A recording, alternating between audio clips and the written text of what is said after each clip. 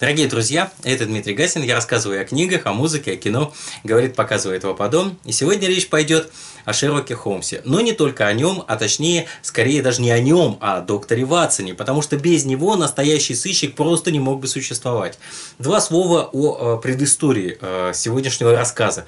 Конечно, Конан Дойль э, автор замечательных произведений в самых разных жанрах. Это человек, который был удивительно энциклопедически образован, который писал о невероятном количестве вещей, и он гораздо более ценил свои, как ему казалось, более серьезные романические работы, значит, вот эти вот, а, чем эти рассказики про этого сыщика. Он ему страшно надоел, этот герой.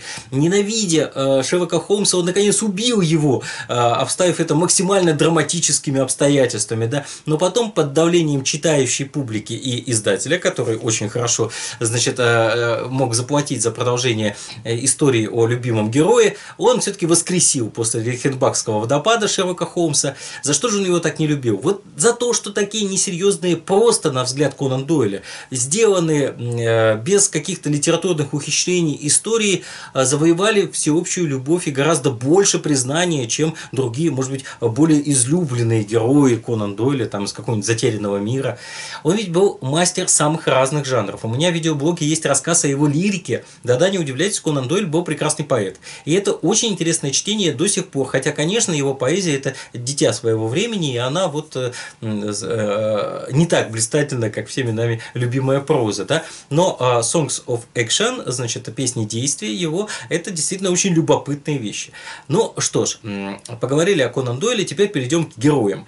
Шерлок Холмс и доктор Ватсон – неразлучная парочка, но ведь они встретились уже в зрелом возрасте, когда Холмс был э, состоявшимся сыщиком с богатой, насыщенной карьерой, а Ватсон был не просто врачом, но у него за плечами был опыт войны в Афганистане, у него было огромное количество э, всего, значит, э, в Индии, конечно, огромное количество всего а, а, разного, да, скажем так. Очень непростой он был человек, э, доктор Ватсон. Гораздо более э, глубокий получается персонаж по прочтении всего цикла истории и всего, что с ним связано, значит, э, после, чем вот просто первоначальное знакомство. Да, он прямодушный, он прямолинейный, он отважный, он очень верный товарищ, вот. Но доктор Ватсон прежде всего еще и человек большого ума. Просто не дано ему этого волшебного таланта связывать отдельно цельные меткие наблюдения в цельное э, э, рассуждение, да, вот тот, ту самую дедукцию, которая на самом деле не дедукция, а индукция, но я не буду сейчас вдаваться во все это, потому что если мы сейчас начнем ковырять, где именно э, воевал Ватсон, как именно метод следует называть Шерлока Холмса, какие именно прототипы были биографические у этих персонажей, но мы просто сейчас увязнем по самую макушку, это очень долгая история. Перед нами на самом деле очень легкая, прекрасно, на мой взгляд, удачно написанная книжка э, в жанре э, продолжения сиквела известной истории, но только это не сиквел, а своеобразный приквел. Причем это предыстория э, расследований Холмса и Ватсона, когда с Холмсом Ватсон еще не был знаком. Он еще студент медицинского колледжа, он еще в сущности подросток. Да? Ему предстоит расследовать настоящее преступление. Ну что же вы хотите, классический детектив и без убийства? Ну не серьезно же. Так что «Призрак Уорта Байрона» а за авторством Джона Хэмиша Ватсона. Значит, э, это э, история детективная.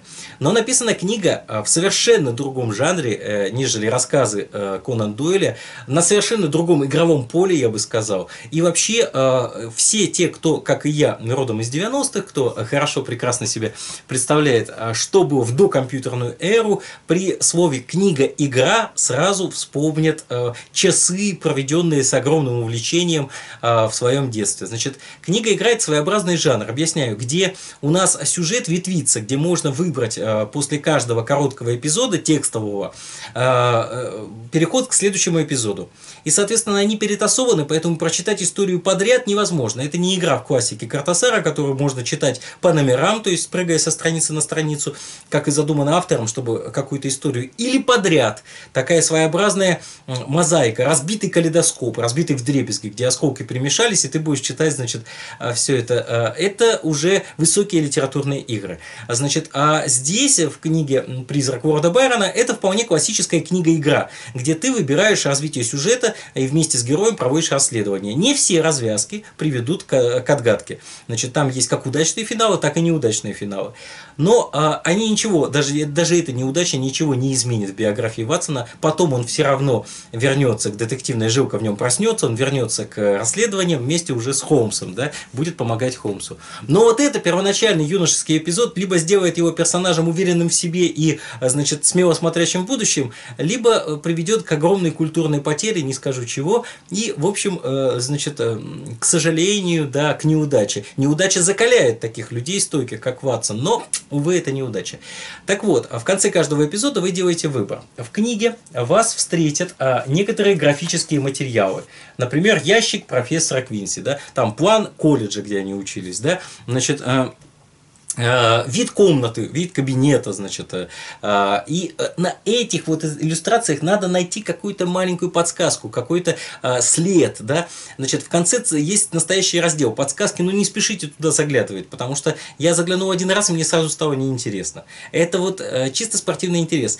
Еще раз повторюсь, вы можете прочитать только часть книги, потому что все ветки сюжетные надо пройти, это надо несколько раз ее прочитать, но все равно получится увлекательно. Вот, я, например, с первого раза пришел к развязке неудачливой, да, да, неудачи.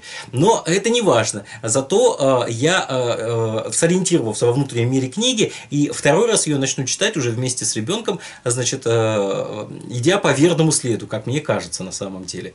Вот. А степень сложности задачи, поставленной перед читателем, я бы оценил как среднюю. Это не так, чтобы прямо голову сломать. Если кто помнит Брославского, если кто помнит подземелье Черного замка, например, да, где, э, в общем, мы рисовали рисовали этот, эти дериваты, это дерево вот ответвлений, да, а, значит, э, сюжетных Э, это листы были многие изрисованы, и неделями листали страницы. Там просто есть очень несколько хитрых фишек. Даже если ты а, себе подыгрываешь на руку, забегая вперед и потом возвращаясь назад, если у тебя привел к неудачу, там есть несколько мест, где нужно отвечать на коварные вопросы. И вот так вот а, выбрать а, но, точно совершенно верный вариант уже не получится, потому что там требуется отгадывать какие-то загадки. Я не буду вам раскрывать, конечно, секретов подземелья Черного замка. Кроме того, это э, книга с кубиком, кубиком с игральным, там еще и поединки были с персонажей, которые решались при помощи кубика и всяких очков доблести и так далее. То есть такая уже игровая вещь. Здесь этого нету. Здесь это вполне классическая детективная новелла, только развитие сюжета ты выбираешь сам. Вообще этот жанр получил огромное развитие в 21 веке. У нас сейчас благодаря компьютерам есть целый новый вид литературы. Но помните, друзья мои, все-таки э, а, здесь у нас авторы книги и создатели вот этой замечательной книги игры воспользовались всеми возможностями вот этой этого жанра, например, возможностью обыгрывания э, значит, э, этого сюжета как записок. Здесь постоянно встречаются разные комментарии, значит, э, это комментарии самого Ватсона, они что-то объясняют, дополняют, разъясняют, обращают внимание читателя или наоборот отвлекают его. Вот. Это, конечно, тоже очень интересная литературная игра, она используется часто в литературе. Вспомним хотя бы роман Набокова «Ада» или «Радости и страсти». Помните, там автокомментирование до какой степени доведено. Но а, тут же а, все проще. Здесь у нас есть игровая задача. И вот ее решению помогают эти штуки. И то, что жанр вроде такой несерьезный, да, детективный, а, и то, что а, игровая ситуация, да, с э, хорошо знакомыми персонажами в хорошо знакомых обстоятельствах Англии конца 19 века, но это уже э, скорее не конец, а даже середина. Мы можем уже э, по-другому немножечко все это воспринимать. И, конечно, э, это сильно облегчает, э, скажем так, вхождение вот в этот вымышленный мир книги. Потому что если бы это было всерьез, то э, любой серьезный читатель понимает, в чем ограничение этого жанра. Можно написать десяток, а то и сотню версий Анны Карениной, где Анна Каренина в конце попадает под поезд, не попадает под поезд, попадает под карету, попадает под самолет, прыгает с моста, значит, травится, вешается, живет долго и счастливо, рожает пятеро детей, получает Нобелевскую премию. А, но гениальным останется только изначальный вариант Льва Толстого, да, потому что в по-настоящему написанной книге нельзя ничего не прибавить, не отнять. А написать несколько э, гениальных книг с разным развитием сюжетов, это написать несколько совершенно разных гениальных книг. И это вот уже как бы вот. А такой вот легкий жанр как раз позволяет играть с формой и делать и то, и это.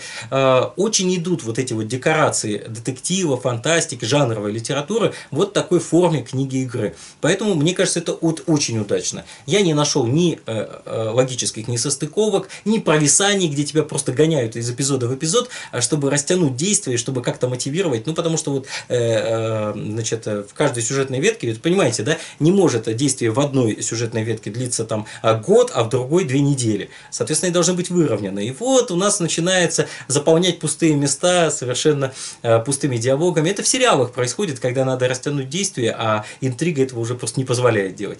Вот. Здесь такого нет. Здесь все очень просто. Динамично. А, конечно, э, какие-то ходы хорошо узнаваемы. Вообще, э, те, кто Шервокеану хорошо знает, они, в общем, ну, ну, будут легко все это читать. Мне кажется, подобная игра, подобные приквелы очень идут и очень подходят произведениям Конан Дойля и Шерлоке Холмсе. Точно так же я люблю сериал с Кимбербэтчем, потому что это э, броско, ярко, э, интересно, неожиданно. И пусть он, конечно, э, тоже очень условен, и некоторые э, места в этом сериале смотришь, морщишься, потому что, ну, в общем, не то, что вольное обращение с сюжетом, о каком вольном обращении сюжет с классическим образцом может быть там речь, потому что там все переделано на современный лад, а потому что э, видишь, вот как это сделано, да, каркас э, просвечивает сквозь декорацию. Вот. А, а книга-игра это как раз сама по себе условный, сам по себе условный жанр, который очень-очень хорошо позволяет договориться в самом начале. Мы же договорились, что это игра, да? Ну что ж, играем всерьез. И вот дальше начинаешь втягиваться.